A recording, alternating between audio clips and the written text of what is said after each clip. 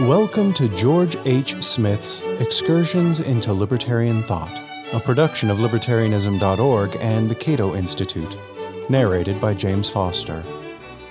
Freedom, Rights, and Political Philosophy, Part 3. When combing the writings of Plato, Aristotle, Cicero, and other ancient philosophers for ideas that influenced later political philosophers, it is easy to overlook the most influential source of all the Bible, especially the writings of St. Paul. As the distinguished medieval historian Walter Ullmann wrote, The Individual and Society in the Middle Ages, 1966, page 10, most, if not all, of the basic principles relative to the individual as subject to higher authority are contained in the Bible, notably in the Pauline letters. If one realizes, as every medievalist ought to, but so few in fact do, what an unparalleled influence the Bible as the repository of divine wisdom exercised in the Middle Ages, one will have no difficulty in appreciating that it was taken not merely as a model, but above all as a ready made philosophy relative to matters of public government. The all pervasive Christian theme made the Bible a pattern, a whole philosophy was so conveniently assembled within two covers, Quite especially it is in the Pauline arsenal that the crucial concepts and terms of the subject of the subditus and the corollary of the higher of the sublimis, as well as the corresponding concept of obedience, appear most fully. The influence of Paul's pronouncements on the duty of political obedience extended well beyond the Middle Ages. Indeed, the major Protestant reformers, having denuded the Pope of all political authority, sought to strengthen the authority of the secular state beyond what most Catholics were willing to accept, and they frequently appealed to the writings of Paul. For example, in his article On Secular Authority, Martin Luther followed the common practice of citing the following passage by Paul, Romans 13, verses 1 and 2, RSV, in order to find a firm grounding for secular law and the sword, in order to remove any possible doubt about their being in the world as a result of God's will and ordinance. Let every person be subject to the governing authorities, for there is no authority except from God, and those that exist have been instituted by God. Therefore, he who resists the authorities resists what God has appointed, and those who resist will incur judgment. That government is a divinely ordained institution, one that we are obligated to obey, was a dominant theme in Christian political philosophy, and passages such as the above were frequently cited against those Christians who defended the rights of resistance and revolution. Perhaps the first American to tackle this problem in detail was Jonathan Mayhew, 1720 to 1776, a New England minister who, in 1750, delivered a sermon in Boston titled A Discourse Concerning Unlimited Submission and Non Resistance to the Higher Powers, with some reflections on the resistance made to King Charles I. The point of this sermon was to defend the execution of Charles I a century earlier, 1649 a controversial stand even among radical Whigs. The pamphlet version of Mayhew's sermon was widely admired by American revolutionaries, and it had an especially strong influence on a young John Adams who said that it was read by everybody and had a great influence in the commencement of the Revolution. In his discourse, Mayhew examined the various New Testament passages, especially the passage quoted above that had traditionally been used to teach passive obedience to government. He agreed that obedience to a just government is commanded by God, but he went on to argue that the Bible does not demand obedience to an unjust government. The fact that particular rulers may claim the moral authority needed to command obedience does not make it so. In essence, Mayhew appealed to a distinction that I mentioned in my last essay, namely the difference between political obligation as a general principle and political allegiance to a particular government. To disobey a just government is a serious sin, according to Mayhew, but unjust rulers can lay no legitimate claim to political authority and may therefore be resisted and even overthrown. When philosophers discuss political obligation, they sometimes ignore the crucial distinction between political obligation and political allegiance, despite the fact that many early political debates focused on the latter issue. Political obligation in some form was taken for granted, but this did not answer the crucial question What makes a government legitimate in the first place? As I explained in my last essay, John Locke and other defenders of natural rights and the consent theory of government were frequently accused by their critics of implicitly justifying anarchy because their standards for a just government, if consistently applied, were so stringent and unrealistic that no real government could possibly meet them. Such theories made all governments vulnerable to revolution. John Locke made it abundantly clear that the problem of political allegiance, not the more general problem of political obligation, is the great problem of political philosophy. Unfortunately, Locke's remarks on this topic appear in his first treatise of government, a detailed rebuttal of Robert Filmer's arguments for absolute monarchy, and his first treatise has not received nearly the attention that has been bestowed on his more famous second treatise.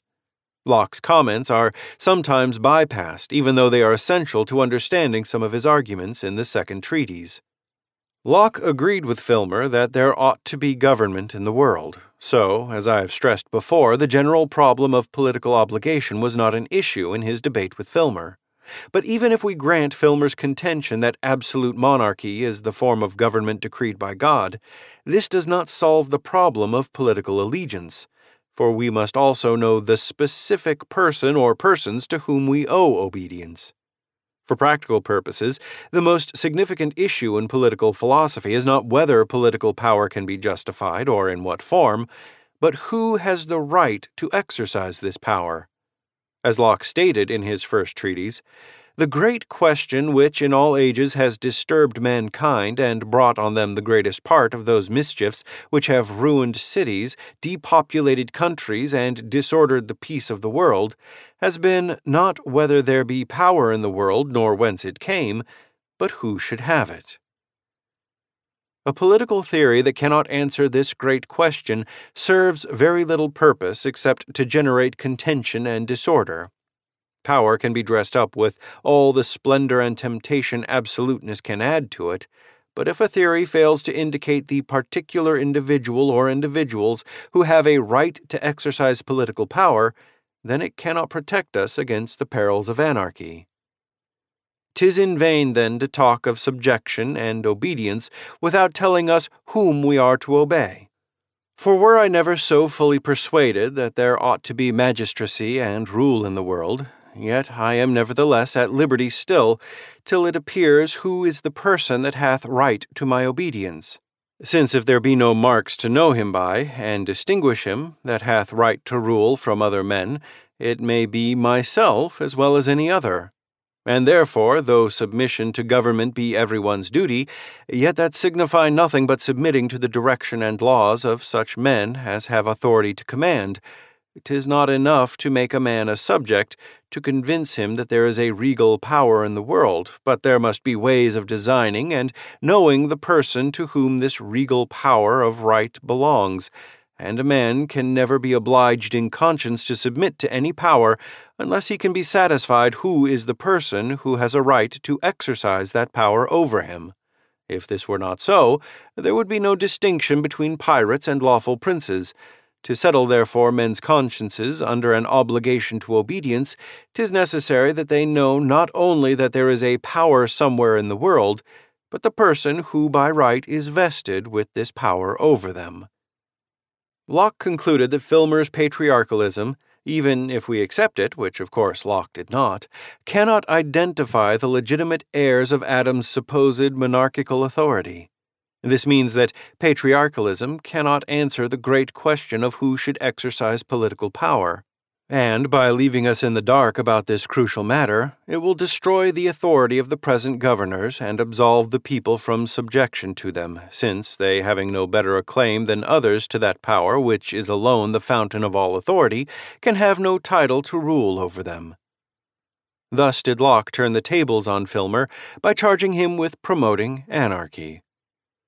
Modern political philosophy, as it emerged in the late 16th century, was largely concerned with justifying political sovereignty and thereby justifying the monopoly of political power claimed by emerging nation states. It has been said that few people doubted the existence of God until philosophers attempted to prove it. It may also be said, with equal justification, that few people doubted the legitimacy of established governments until philosophers attempted to justify that legitimacy by appealing to reason. Attempts to justify the modern state quickly developed into a double edged sword. Philosophers such as Jean Bodin, Robert Filmer, and Thomas Hobbes, who presented detailed arguments in defense of political sovereignty, virtually compelled their critics to develop opposing theories based on self sovereignty theories that cut to the heart of absolute sovereignty. Although the French mathematician and philosopher Blaise Pascal, (1623–1662) is rarely discussed in histories of political theory, he was among the first to recognize that explosive potential of modern political philosophy. In his Pensées, Pascal took a brief but fascinating detour into political sociology. He identified reason itself as manifested in the attempts of philosophers to justify political power as the ultimate source of revolutionary fervor. According to Pascal, human reason, having been thoroughly vitiated by original sin, can no longer discern the true law of justice, so people must be ruled by custom rather than by reason. Social order requires blind, unconditional obedience to established laws solely because they are established laws, and for no other reason. Man made laws have the force of habitual custom and are routinely accepted by the masses. This is the mystic basis for the authority of law. Philosophers who attempt to trace the authority of man made laws to their objective foundation in reason will inevitably destroy the authority of established laws in the process. Even a cursory examination of various legal systems will reveal their relativity, inconsistencies, and how they were designed to serve the interests of the rulers instead of the greater public good. Consider this striking dialogue by Pascal. Why are you killing me for your own benefit? I am unarmed. Why do you not live on the other side of the water? My friend, if you lived on this side, I should be a murderer. But since you live on the other side, I am a brave man, and it is right. Larceny, incest, infanticide, parricide, everything has at some time been accounted a virtuous action.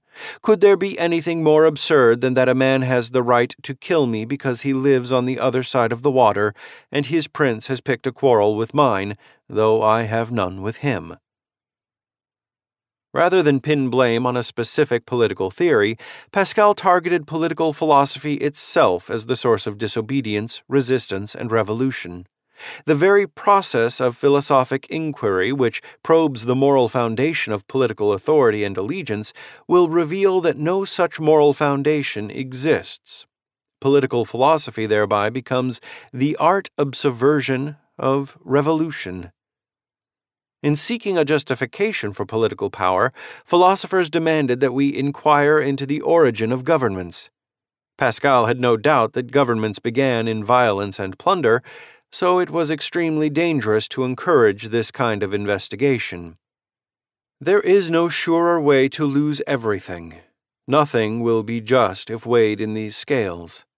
Yet the people readily listen to such arguments. They throw off the yoke as soon as they recognize it, and the great take the opportunity of ruining them and those whose curiosity makes them examine received customs. That is why the wisest of legislators used to say that men must often be deceived for their own good, and another sound politician, when he asks about the truth that is to bring him freedom, it is a good thing that he should be deceived. The truth about the usurpation in the founding of governments must not be made apparent. It came about originally without reason and has become reasonable. We must see that it is regarded as authentic and eternal, and its origins must be hidden if we do not want it soon to end. The essence of Pascal's argument that to inquire into the origin of governments will undermine the legitimacy of all governments, past and present, would later be repeated by critics of Lockean consent theory, most notably David Hume. Thank you for listening to Excursions. To learn more about libertarian philosophy and history, visit www.libertarianism.org.